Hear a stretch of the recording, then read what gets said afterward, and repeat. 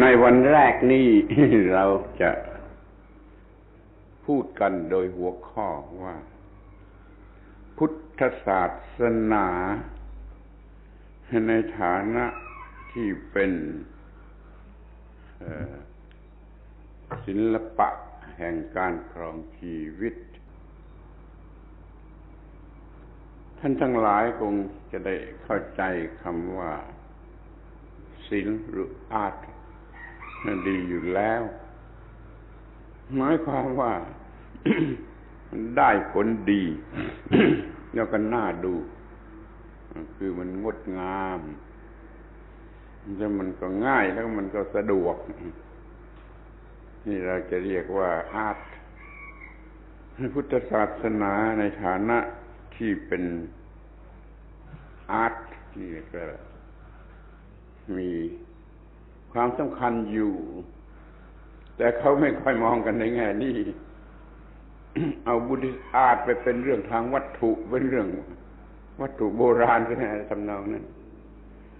ก็ให้ถือว่า ตัวพุทธศาสตร์ตัวพุทธศาสนาแท้ๆเนี่ยเป็นอาร์ตจะเอา พระพุทธรูป เป็นอาร์ต ก็ขออย่าได้เอาตัววัตถุให้เป็นอาตแต่ให้เอาไอ้ความหมายที่แสดงอยู่ที่หน้า ที่หน้าของพระพุทธรูป แสดงว่ามีความสุข มีความฉลาด มีความเมตตากรุณา มีความอดกลั้นอดทน อย่างนี้เป็นต้น ก็จะเรียกว่าอาตได้เหมือนกัน เมื่อเราพูดถึงไลฟ์นี่ก็ขอให้มีความหมาย เป็นสูงสุด supreme life อย่าทำนั้นเป็น art of life ที่สูงสุดให้เรามุ่งหมายคุณสมบัติสองอย่าง คือสงบเย็นที่สุดและเป็นประโยชน์ที่สุด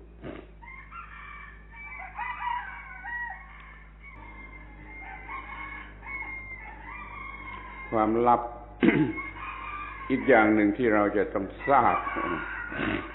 ว่าไล่หรือชีวิตนี้ธรรมชาติให้มา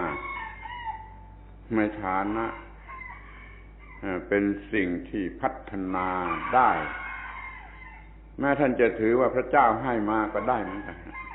พระเป็นเจ้าให้มาก็ในฐานะสิ่งที่เราพัฒนาได้ตามที่เราต้องการ ให้มันเป็นสุพรีมไล่ขึ้นมาจนได้ให้มีความแน่ใจในข้อนี้คำว่าสุพรีมมันก็บอกอยู่ในตัวแล้วว่ามัน เนื้อปัญหาเราใช้คำคำเดียวว่าเนื้อปัญหามาถึงเนื้อความทุกข์เนื้อความยากลำบากเนื้อ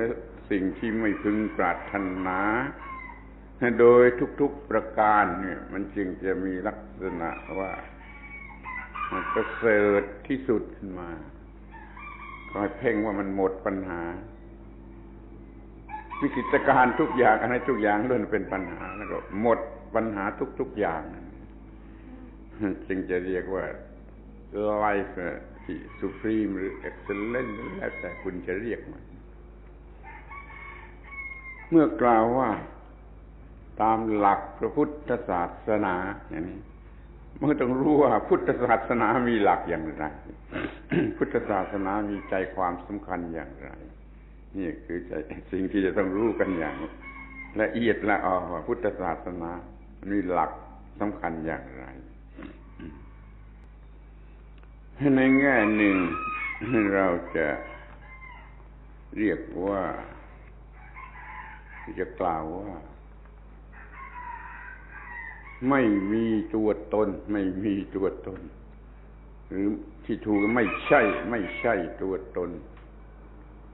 ทุกสิ่งทุกสิ่งไม่ใช่ตัวตน not self หรืออนัตตาเนี่ย ไม่ใช่ตัวตน มองทุกอย่างในลักษณะไม่ใช่ตัวตน เป็นเพียงปรากฏการณ์ของธรรมชาติ เป็นธรรมชาติ เป็นกฎธรรมชาติ เป็นปรากฏการณ์ของธรรมชาติ เป็นไปตามธรรมชาติ นี่เรียกว่า ไม่ใช่ตัวตน เมื่อมันไม่ใช่เซลฟ์ไม่ใช่เซลฟ์ เป็นธรรมชาติของธรรมชาติ โดยธรรมชาติตามธรรมชาตินี่มันก็ไม่ไม่เป็นไปเพื่อความยึดถือ ไม่เป็นที่ตั้งแห่งความยึดมั่นถือมั่น คือไม่มี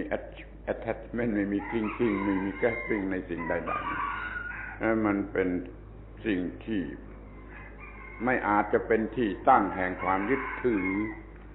นี่ใจความสำคัญของพุทธศาสนา เมื่อวัฒนธรรม ในทางศาสนาในประเทศอินเดีย เป็นไปถึงที่สุดของทัทิฮินดูนะมันไปสิ้นสุดตรงที่มีอัตตา มีอาตมันสูงสุด แล้วก็เป็นนิรันดร ถ้าไปสูงสุดกันที่มีอัตตามีเซลล์นิรันดรนะที่พุทธศาสนาเกิดขึ้นมาสอนว่าไอ้สิ่งที่ถือว่าเป็นเซลล์นั่นไม่ใช่ ไม่ใช่เซลล์ให้เห็นเป็นธรรมชาติไม่ควรยึดถือว่าเซลล์นี่คือสิ่งที่จะต้องเข้าใจว่าสอนเรื่องไม่มีเซลล์ในที่สุดมันเป็นว่าง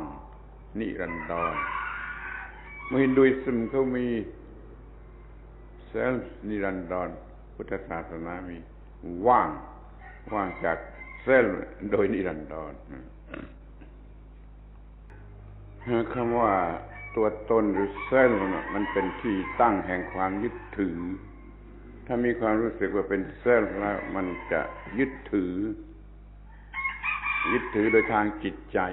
โดยทางจิตใจ เมื่อมีความยึดถือก็มีของหนัก เบอร์เดนเบอร์เดนของหนัก ยึดถือชีวิตชีวิตนั่นเองก็เป็นเบอร์เดนขึ้นมา ยึดถืออะไร อันนั้นเป็นเบอร์เดนขึ้นมา มันก็ทำมือไปยึดถืออะไร มันก็หนักหนักทั้งนั้นไม่ว่ายึดถืออะไรยังมีหลักเกณฑ์ที่ว่า ไม่ยึดถืออะไร เมื่อไม่ยึดถืออะไรก็คือเห็นว่าทุก ๆ สิ่งมันไม่ใช่เซลล์ไม่ใช่ตัวตนที่ยึดถือได้ ไม่อาจจะยึดถือได้ ยึดถือก็เป็นสิ่งที่โง่เท่านั้นเองจึงสอนอย่างไม่ยึดมั่นถือมั่นในสิ่งใดว่าเป็นตัวตน ไม่คลาสสิฟายไม่จะกาดอะไรให้มันเป็นตัวเป็นตนขึ้นมามันเป็นว้อยจากตัวตนแต่เป็น ปรากฏการณ์ตามธรรมชาติ ตามธรรมชาติ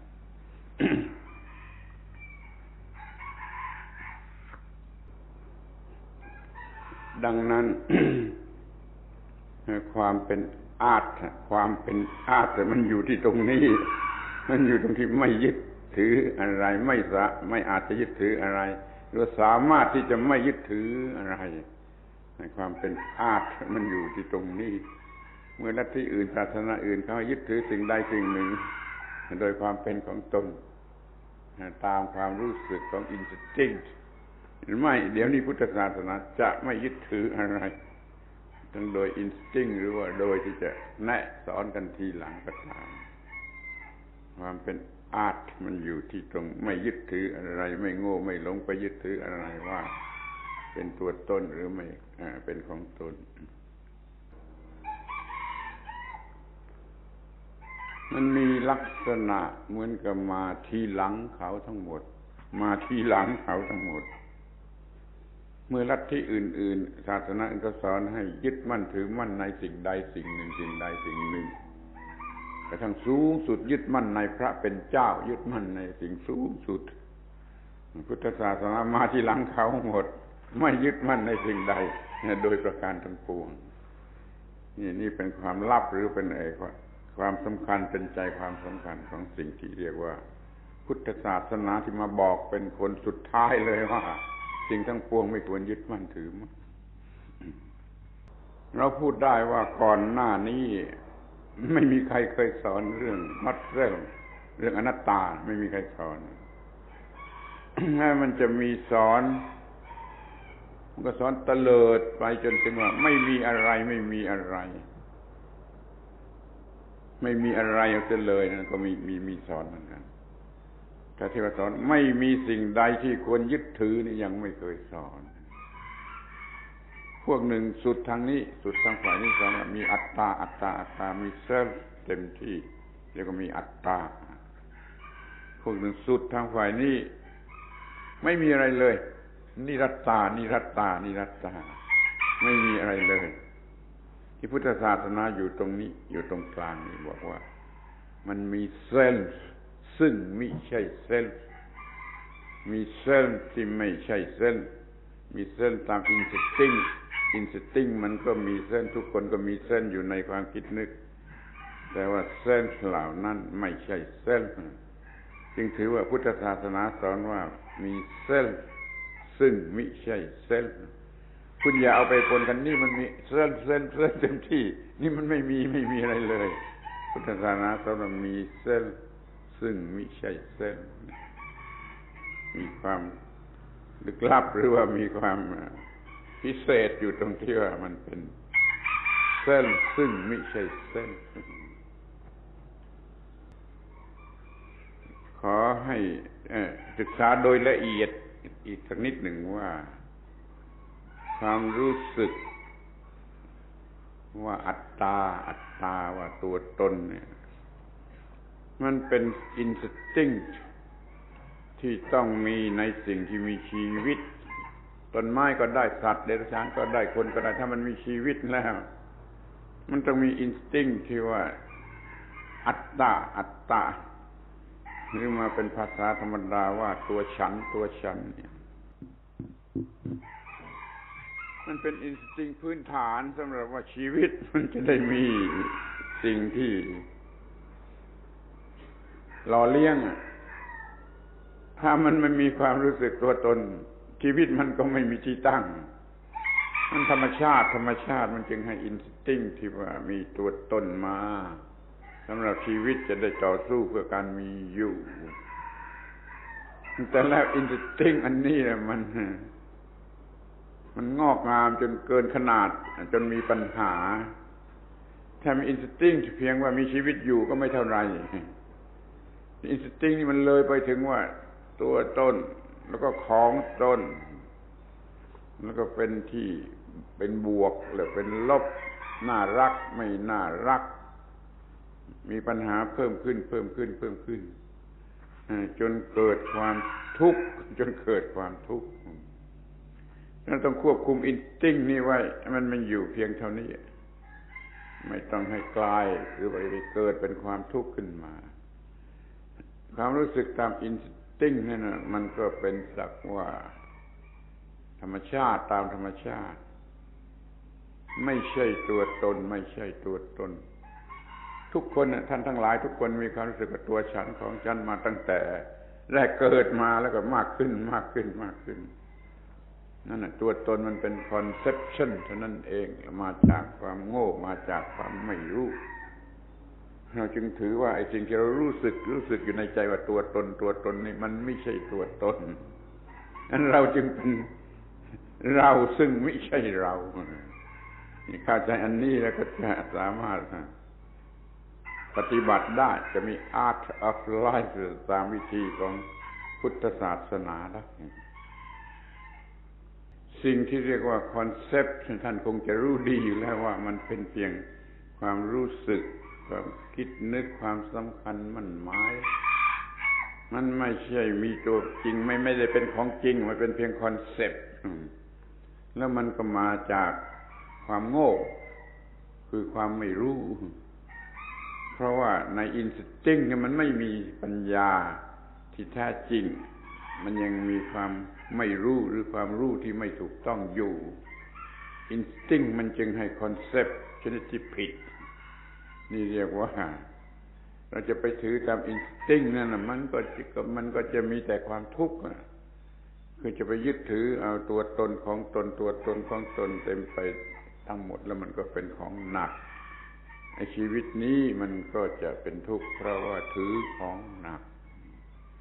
ขอให้เข้าใจความจริงของธรรมชาติที่ลึกลับข้อนี้กันทุกคน ทีนี้เราก็มาดูกันว่าเรานี่เป็นธาตุเป็นธาตุของคอนเซปต์ตลอดเวลาแม้ว่าสิ่งที่เรียกว่า concept มันไม่ได้มีจริง มันเป็น illusion เป็น illusion อยู่โดยแต่กำเนิดของมัน แต่มันเราก็เป็นทาสของมัน มันก็เป็นนายของเรา มันก็บังคับ เราให้ทำอย่างนั้นอย่างนี้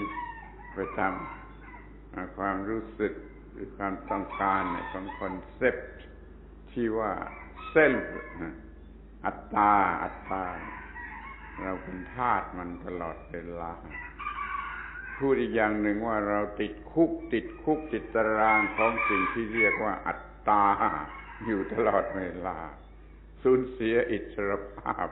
ที่ต้องไปเป็นทาสของอัตตาเนี่ยการออกมาจะได้มันจึงเป็นอาร์ตอาร์ติสติกอย่างยิ่ง เราเป็นตัวเรา ซึ่งไม่ใช่ตัวเรา we are we which is not real we real us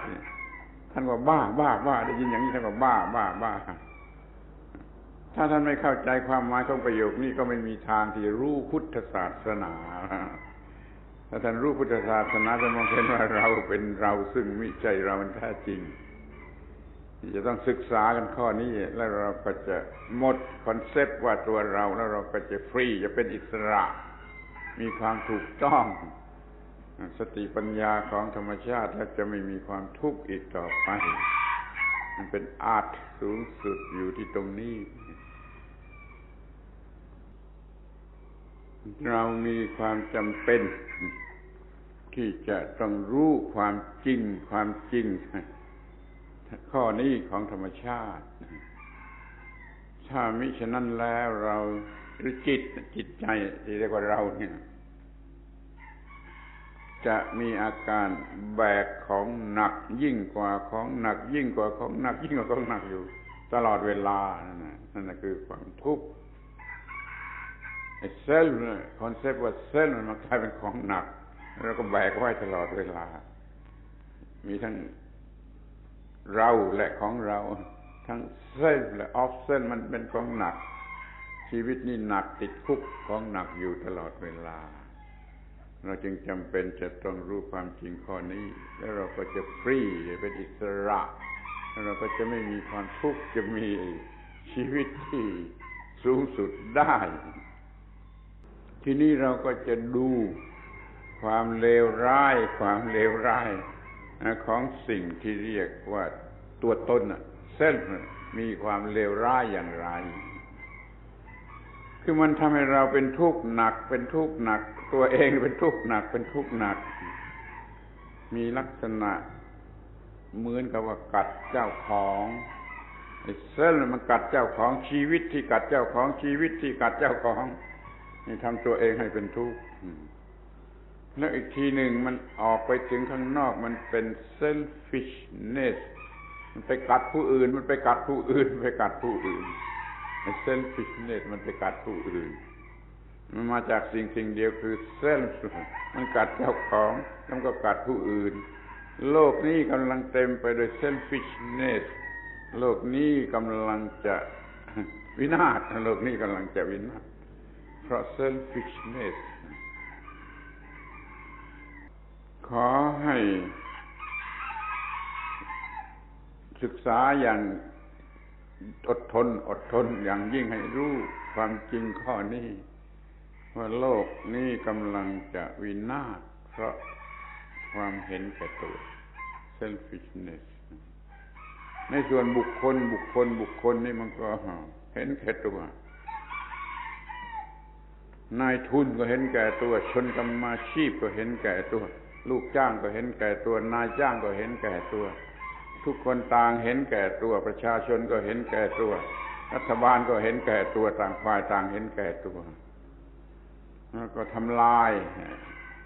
ซึ่งกันและกันไม่สามัคคีกันนี่ความเห็นแก่ตัวกำลังจะทำลายโลก ยิ่งเจริญทางวัตถุ แล้วก็ยิ่งเห็นแก่ตัว ยิ่งเจริญทางวัตถุ แล้วก็ยิ่งเห็นแก่ตัว อุตสาหกรรมทั้งหลายทำความเจริญทางวัตถุทั้งนั้น ยิ่งเห็นแก่ตัว ยิ่งเห็นแก่ตัว มันก็ไม่มีความรักกันเลย มันจะเอาประโยชน์ มันจะทำลายผู้อื่น นี่อันตรายหรือความเลวร้ายของความเห็นแก่ตัวซึ่งมันมาจากตนมาจากอัตตามาจากตัวตนมาเห็นแก่ตน แล้วมันก็จะทำลายโลกทั้งหมดเลย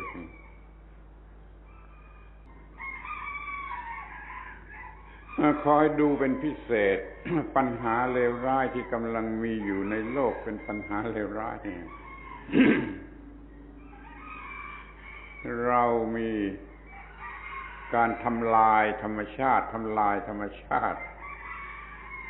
กันมากเกินไปทำลายสัตว์ทำลายต้นไม้ทำลายแผ่นดินทำลายธรรมชาติเพราะเห็นแก่ตัว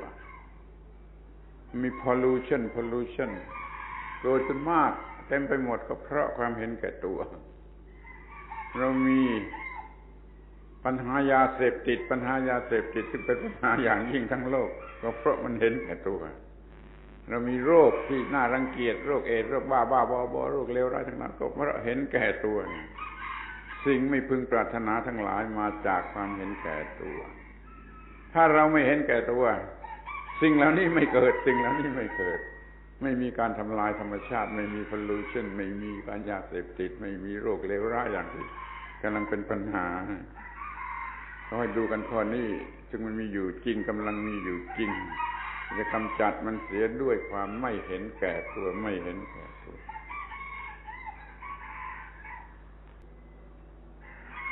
ความเลวร้ายอีกอย่างหนึ่งที่สำคัญที่สุดคือ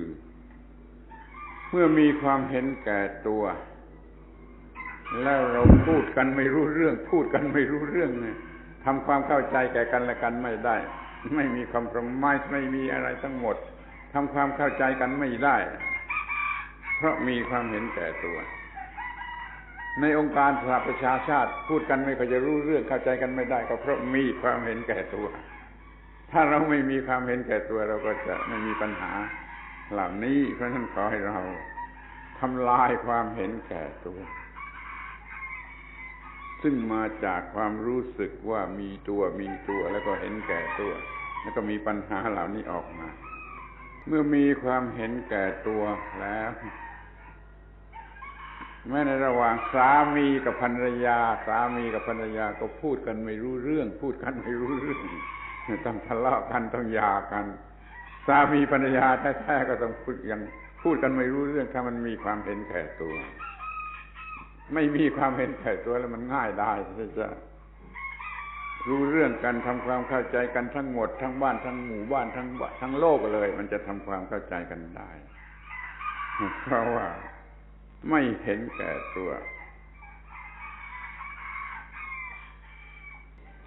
เดี๋ยวนี้มันเลวร้ายมากขึ้นมากขึ้นจนว่า ระหว่างพ่อแม่กับลูก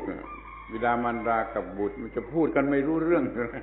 จะพูดทำความเข้าใจกันไม่ได้ไม่ระหว่างพ่อแม่กับลูกกันนะเพราะมันมีความเห็นแก่ตัวระหว่างครูบาอาจารย์กับลูกศิษย์มันจะพูดกันไม่รู้เรื่องอยู่แล้วเพราะมันมีความเห็นแก่ตัว เอาออกไปเสียเราก็จะมีความเข้าใจทำความเข้าใจแก่กันและกันได้ทุกทุกทุกปัญหาอ้าวที่นี่จะมาดู วิธีที่จะไม่เห็นแก่ตัว ถ้าว่าเป็นพุทธบริษัทศึกษาเรื่องนี้เรื่องอนัตตา เรื่องอนัตตา จนเห็นว่าไม่มีตัว ไม่มีตัว มันก็ไม่เห็นแก่ตัวเพราะมันไม่มีตัวจะเห็นแก่ตัวถ้าวิธีของพุทธบริษัทแต่ถ้าท่านมีพระเจ้ามีพระเป็นเจ้า ถือศาสนามีพระเป็นเจ้า ท่านก็เอาตัวตัวของท่านไปให้พระเป็นเจ้า เสียถวายพระเป็นเจ้าเสียอย่าเอามาเป็นของตัว อย่าเอามาเก็บไว้เป็นของตัว ให้ตัวเป็นของพระเป็นเจ้า เสียพระเป็นเจ้าก็จะพาไปในทางที่ถูกต้อง คือไม่เห็นแก่ตัวไม่เห็นแก่ตัวนี่ว่าจะมีอย่างมีพระเจ้าหรือไม่มีพระเจ้ามันก็ต้องทำลายความเห็นแก่ตัวโดยกันทั้งนั้นแต่เราพุทธศาสนาชาวพุทธเห็นความจริงของธรรมชาติว่ามันไม่ใช่ตัว มันไม่ใช่ของตัว มันก็ไม่รู้จะยึดถืออะไร มันก็ไม่ยึดถือเอง มันก็ไม่เห็นแก่ตัวได้เอง นี่เป็นปัญหาร่วมกันทั้งโลกทั้งโลก จะต้องหยุดความเห็นแก่ตัว เอามาขอมาดูกันอีกสักนิด ในความจริง เด็ดขาดความจริงสูงสุดที่ว่า เมื่อใดมีความเห็นแก่ตัว เมื่อนั้นชีวิตนั่นเองจะกัดเจ้าของ ชีวิตจะกัดเจ้าของเมื่อเจ้าของมีความเห็นแก่ตัวคำสั้นๆนี่ชีวิตจะกัดเจ้าของเมื่อมันมีความเห็นแก่ตัว มีความเห็นแก่ตัวเมื่อใดชีวิตจะกัดเจ้าของเมื่อนั้น เราจะพูดกันโดยละเอียดในข้อนี้ใครๆก็มองเห็นสุนัขสุนัขไม่เคยกัดเจ้าของ ไม่เคยกัดเจ้าของ แต่ความเห็นแก่ตัว ความเห็นแก่ตัวนี่มันกัด เจ้าของ มันเร็วกว่าสุนัขเสียอีกเขามองกันในแง่นี้บ้างพอเวลา มาดูกันทีละอย่างละอย่าง พอเป็นตัวอย่างสักจำนวนหนึ่งเท่านั้นไม่มากมายถ้ามันมีและเมื่อไรมันกัดเจ้าของเมื่อนั้น ตัวอย่างที่จะเอามาพูดกัน ความรักความรัก เลิฟมันมาจากความเห็นแก่ตัว ถ้ามันเป็นในเลิฟวิ่งใกลเนสมันก็ไม่ใช่มาจากความเห็นแก่ตัวนี่ถ้ามันเป็นความรักความรักมันจะกัดเจ้าของร้อนกันไปหมดทั้งคู่รักนะกัดทั้งตัวผู้รักแต่ผู้รัก ความรักมันจะกัดเจ้าของ เป็นข้อแรกความรักมันกัดเจ้าของ ทีนี้ก็ความโกรธ ความโกรธ เกิดขึ้นเมื่อใด มันกัดกัดผู้โกรธนะก่อนที่จะไปกัดผู้ที่เราโกรธคิดดูความโกรธเกิดขึ้นแล้วมันจะกัดตัวผู้โกรธเนี่ย ก่อนที่จะไปกัดตัวผู้ที่ที่เราโกรธบางทีเขาไม่รู้เรื่องไม่ได้เป็นทุกข์เป็นร้อนอะไรนี่ความโกรธเกิดขึ้นเมื่อไรมันก็กัดเจ้าของเมื่อนั้นทีนี้ก็ความเกลียดความเกลียด เกิดขึ้นเมื่อไรก็กัดคนผู้เกลียดนี่สิ่งที่ถูกเกลียดยังไม่รู้สึกยังไม่ได้รู้สึกอะไรเลย แต่มันกัดไอ้ผู้เกลียดตัวผู้เกลียดนี่ก่อนเนี่ย ความเกลียดเมื่อกัดเจ้าของ บางทีก็ไม่ได้ไปกัดผู้ที่ถูกเกลียดโดยซ้ำไปมันกัดเจ้าของ มีความเกลียดอะไรความเกลียดนั้นก็กัดเจ้าของ กัดเจ้าของบางทีนั่งร้องไห้อยู่เอง ความเกลียดมันกัดเจ้าของ มีความกลัว ความกลัวมีขึ้นเมื่อไรก็กัดเจ้าของเมื่อนั้นกลัวกูกลัวนี่เป็นความโง่ มันไม่ต้องกลัว มันไม่ต้องกลัว มันก็กลัวความโง่ทำให้มันกลัวมากเกินกว่าจำเป็น ความกลัวมันก็กัดเจ้าของจนว่าโลกนี้มีปัญหาคือความกลัวความกลัว กัดเจ้าของ อย่ามีความกลัวเลยไม่ต้องกลัว ทีนี้ก็มาถึงความตื่นเต้น ความตื่นเต้น ท่านชอบความตื่นเต้น ทั้งที่มันกัดท่าน ท่านต้องลงทุนซื้อหาอะไร มาทำให้เกิดความตื่นเต้น ตื่นเต้น เที่ยวไปทั่วโลก เพื่อเกิดความตื่นเต้น ไปดูมวย เพื่อเกิดความตื่นเต้น ไปดูกีฬา เพื่อเกิดความตื่นเต้น มีความโง่ที่ให้อะไรมากระตุ้นมาเอ็กซ์ปายให้มันตื่นมาอินสปายให้มันตื่นเต้น ตื่นเต้น ตื่นเต้นไอ้ความตื่นเต้นนั่นแหละคิดดูมันกัดเจ้าของ ลงทุนไปมากไปซื้อหาสิ่งที่จะทำให้เกิดความตื่นเต้น แล้วความตื่นเต้นมาทำลายความสงบ มาทำลายความสงบหมด ความตื่นเต้นทุกชนิดมันกัดเจ้าของ อุตสาหกรรมการท่องเที่ยว มีมากในโลกเจริญ มากในโลกจนเป็นรายได้อันใหญ่ของประเทศวางประเทศ มันมาจากความตื่นเต้นมาจากความตื่นเต้น หรืออยากจะตื่นเต้น อยากจะได้รับความตื่นเต้นของคนเหล่านั้นเขาก็ไปเที่ยวดูทั่วโลกไปทั่วโลกเพื่อหาความตื่นเต้นมาหลอกตัวเอง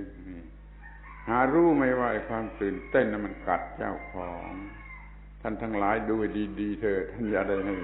เสียเวลาเสียเงินเสียอะไรเพื่อ ซื้อหาสิ่งที่มากระตุ้นความตื่นเต้น ความอยากเห็นของแปลก อยากมีของแปลก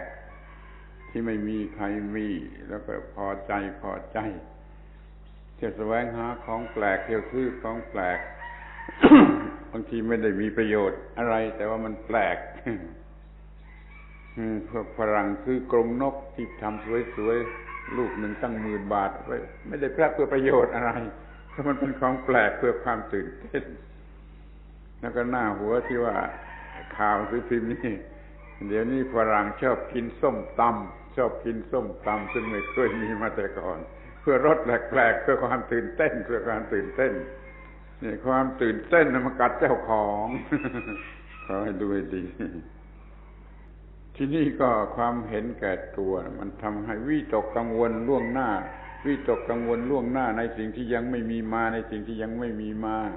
วิตกกังวลล่วงหน้า นี่มันก็กัดเจ้าของรู้อะไรอาวรสิ่งที่ล่วงไปแล้ว สิ่งที่ล่วงไปแล้วก็เก็บมาอะไรอาวรมันก็กัดเจ้าของวิตกกังวลใน อนาคตอะไรอาวรในอดีต มาจากความเห็นแก่ตัว มาจากความเห็นแก่ตัว แล้วมันก็กัดเจ้าของ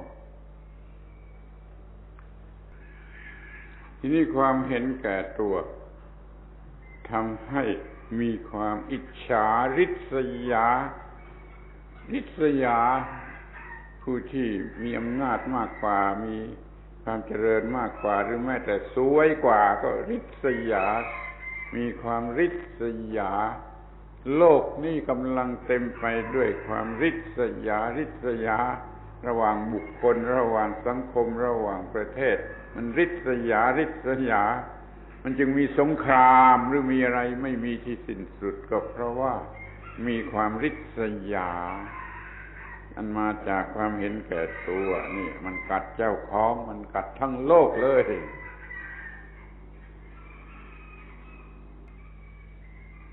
เห็นเขามีเงินมากกว่า มีบ้านเรือนสวยกว่า มีรถยนต์สวยกว่า แต่งตัวสวยกว่า ก็อิจฉา อิจฉาริษยาแล้ว แล้วมันกัดเจ้าของนะความอิจฉาริษยานั้นกัดเจ้าของกัดผู้ผู้ริษยา ผู้นู้นยังไม่รู้สึกนอนหลับไม่รู้ผู้ที่ถูกริษยาไม่รู้ยังไม่รู้เรื่อง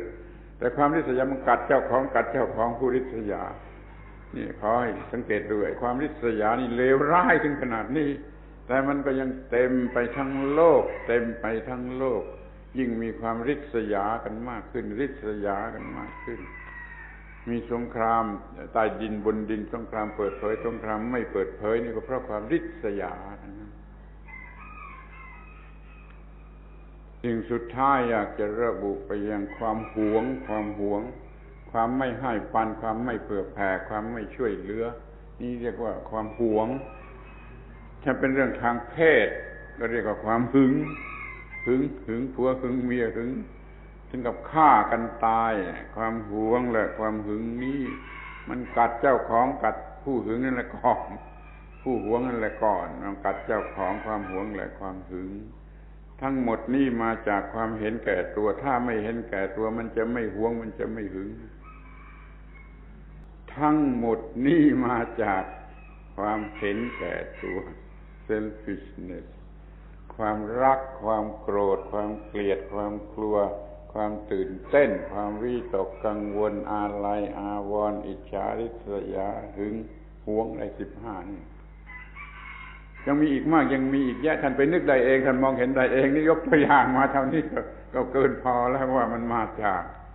ความเห็นแก่ตัวแล้วมันกัดเจ้าของกัดเจ้าของก่อนจะไปกัดผู้อื่นนะ ความเห็นแก่ตัวมันกัดเจ้าของกัดเจ้าของคอยบันเทาลดหรือทำลาย เลิกล้างมันเสีย เรื่องความเห็นแก่ตัว ครั้นมันกัดเจ้าของกัดเจ้าของกัดเจ้าของพอแล้วที่มันจะกัดผู้อื่น กัดผู้อื่นออกไปกัดทั้งโลกความเห็นแก่ตัว จงมาเห็นชัดมันมาจากคอนเซปต์ว่ามีตัว เรามมีของตัว แล้วก็เห็นแก่ตัวนั้นเราจงขจัดออกไปว่า ของจริงความจริงไม่มีตัว ถ้าว่าจะมีตัว แล้วก็เอาไปถวายพระเป็นเจ้าเสียไปเอาพระเป็นเจ้าสยามมาไหว้กับตัว ถ้าเป็นเจ้าจะควบคุมไปตัวเรานั่นเองนี่ถ้าเราถือศาสนาที่ไม่มีตัวอย่างพุทธศาสนาก็กำจัด โดยไม่เห็นไม่มีไม่มีตัว ถ้าว่ามีตัวมีถือศาสนาพระเป็นเจ้ามีพระเป็นเจ้าก็เอาตัวตัวเส้นพิชิตนี่เอาไป ถวายพระเป็นเจ้าเสียมันก็ได้ผลเท่ากัน นี่วิธีที่เราจะกำจัดความเห็นแก่ตัวมีอย่างนี้ ที่นี่ที่เวลาเหลือนิดหน่อยนี่จะพูดถึงเรื่องมันกัดกัดตัวเองกัดกัดกัดผู้มีความเห็นแก่ตัวกัดผู้มีความเห็นแก่ตัวอย่างไร เนี่ย ขอ ทำความเข้าใจกันอีกสักหน่อยหนึ่ง เมื่อมีความเห็นแก่ตัวแล้วมันมีสิ่งที่เกิดขึ้นมาด้วยกันคือกิเลสกิเลสคำนี้อาจจะแปลกสำหรับบางคนแต่ก็ทำความเข้าใจได้ กิเลสกิเลสเป็นชื่อของความสกปรก เป็นชื่อของไฟเผาให้ร้อนเพราะเราเห็นแก่ตัวเราจึงทำสิ่งที่ไม่ควรทำ กิดกิเลสเป็นความรักความโกรธความเกลียดความกลัวหรือโลภะโทสะโมหะ เนี่ย ความเห็นแก่ตัวทำให้เกิดกิเลสเกิดกิเลสถ้าเราจะทำผิดทำชั่วพูดผิดพูดชั่วคิดผิดคิดชั่ว นี่เรื่องให้มันเกิดกิเลสความเห็นแก่ตัวทำให้เกิดกิเลสช่วยจำคำว่ากิเลสกิเลสไว้ดีๆมีกันเป็นธรรมดาแต่ไม่ค่อยจะสนใจไม่ค่อยจะรู้จัก แล้วรู้กันเสียทีว่ากิเลสกิเลสทั้งหลายมาจากความเห็นแก่ตัวท่านเกิดกิเลสแล้วมันก็เกิดสิ่งที่สองตามมา คือความเคยชิน เคยชินที่จะทำอย่างนั้นอีก เป็นแฮบบิตแฮบบิตช่วงมันเคยชินจะทำอย่างนั้นอีก เคยชินจะทำอย่างนั้นอีก คุณลองไปโกรธก็สิมันก็ง่ายที่จะโกรธอีกไปรักกันมันง่ายที่จะรักอีก มันมีความเคยชินที่จะทำอย่างนั้นอีก นี่เรียกว่าอนุสัย อนุสัยคือความเคยชินที่จะทำอย่างนั้นอีก นี่ลำบากที่สุด เราห้ามห้ามจิตใจระวังจิตใจ ไม่ทำชั่วทำเลวไม่ได้ เพราะมันมีสิ่งนี้ เพราะมันมีสิ่งนี้ คืออนุสัยความเคยชินที่จะทำอย่างนั้นอีก นี่มันกัดเจ้าของลึกเข้าไปอีก มีอนุสัย มีคนถามปัญหาเขียนมาถามปัญหามากที่สุดว่าไม่อยากจะโกรธแต่แล้วมันก็โกรธบังคับไม่ได้ ไม่อยากจะโกรธเกลียดกลัวความโกรธ ไม่อยากจะโกรธแต่แล้วมันก็ยังโกรธมันบังคับไม่ได้เพราะเหตุอะไรเขาไม่รู้ว่ามันเพราะอันนี้ เพราะอนุสัยอนุสัยความเคยชินที่เก็บไว้โดยไม่รู้สึกตัว โดยไม่รู้สึกตัวเก็บไว้เก็บไว้สะสมไว้สะสมไว้มากขึ้นมากขึ้น ในสันดานในสันดานของจิตใจ substratum of the mind มันเต็มไปด้วยสิ่งนี้ สิ่งนี้สิ่งนี้มันมากขึ้นอย่างนี้เรียกว่าอนุสัยทุกคนมีอนุสัยเก็บความเคยชินที่จะทำกิเลสเกิดกิเลสนี่ปัญหาที่สองกัดเจ้าของเพราะอนุสัยที่นี่ก็มาถึงสิ่งที่สามคือ อนุสัยที่เก็บไว้มากๆมันต้องการจะไหลกลับออกมา ยิ่งเก็บไว้มากเท่าไรยิ่งมีความดันจะไหลกลับออกมามากเท่านั้นแหละเมื่ออย่างว่าในในที่ใส่น้ำโอ่งหรือตุ่มน้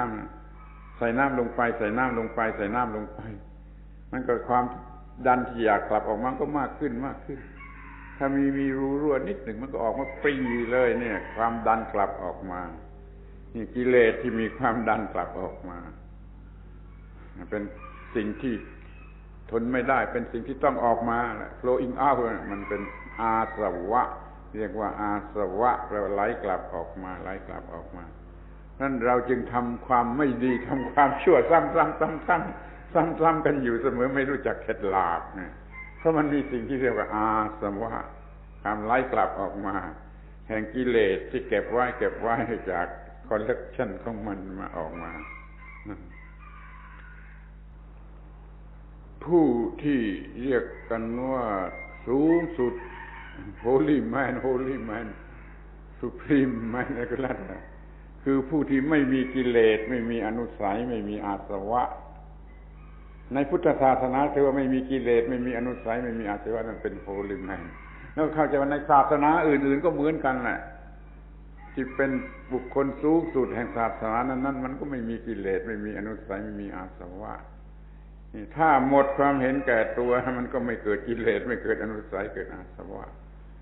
เราจงพยายามลดความเห็นแก่ตัวลดความเห็นแก่ตัวไม่เกิดกิเลสไม่สะสมกิเลสไม่มีกิเลสสำหรับจะไหลกลับออกมา นี่คือสิ่งสูงสุดของมนุษย์ถ้าทำได้ก็เป็น supreme art of life เลย ความเห็นแก่ตัวทำให้เกิดกิเลสคำว่ากิเลสนี่แปลของสกปรกนะแต่พอที่มันแสดงบทบาทมันมันไม่ได้แสดงแต่เพียงว่าสกปรก มันเผาให้ร้อนมันก็ไฟก็มี มันกดทับให้หนักให้หนักมันแบกของหนักก็มี มันผูกมัดรัดรึงมันติดมัดมัดมัดก็มีติดคุกติตรางก็มี หรือว่า มีความ ไม่ม่มีอิสระภาพไม่มีเสรีภาพในชีวิตเลย นั่นขอให้ทำลายความเห็นแก่ตัวไม่มีกิเลสแล้วเราก็จะมีชีวิต ที่เรียกว่าหลุดพ้น หลุดพ้น emancipated ไปจากปัญหาทุกสิ่งทุกอย่าง เพราะไม่มีความเห็นแก่ตัวเพียงอย่างเดียว ไม่มีความเห็นแก่ตัว เพราะไม่รู้สึกว่ามีตัวไม่รู้สึกว่ามีตัว นี่ประโยชน์สูงสุดของ ธรรมะที่จะทำลายกิเลสจะทำลายความเห็นแก่ตัว แล้วก็กำจัดสิ่งเลวร้ายในโลกทั้งหมดออกไปให้ได้มันเรามาทำนี่ถูกต้องแล้วเพื่อจะกำจัดสิ่งเหล่านี้ออกไป ท่านมาเพื่อศึกษา เพื่อจะศึกษาเพื่อจะรู้จักวิธี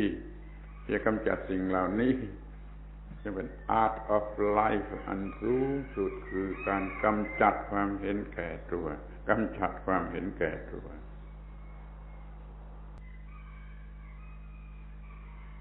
concept concept ว่าตัวตนก็ดีเซนฟิชเนสมาจากตัวตนก็ดี มันคือความมืดความมืดแห่งชีวิต เพราะมีความมืดเราทำอะไรไม่ถูก เราทำอะไรไม่ได้ก็ทำผิดหมด เราต้องหาแสงสว่าง หาแสงสว่างคำพุทธะพุทธะบุติสมบุทธานี่แปลว่า ตื่นจากหลับคือแสงสว่าง มีแสงสว่าง พุทธะนั่นคือแสงสว่าง ที่ให้ออกมาเสียจากความมืด ท่านทั้งหลายมีความตั้งใจถูกต้องแล้วที่มาแสวงหาธรรมะในพระพุทธศาสนานี่เพื่อแสวงหาแสงสว่าง แสงสว่างที่จะกำจัดเสีย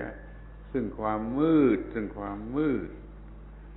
ขอให้ท่านทั้งหลายประสบความสำเร็จ ในความมุ่งหมายอันนี้ แม้ว่าท่านจะมาเมืองไทยอย่างทัวริส ขอให้ท่านกลับไปอย่างพิลกริมพิลกริมเต็มไปด้วยอาร์ตที่จะกำจัดความมืดแล้วก็ได้รับ สิ่งที่ดีที่สุดที่มนุษย์ควรจะได้รับ ด้วยกันทุกๆคนเถิด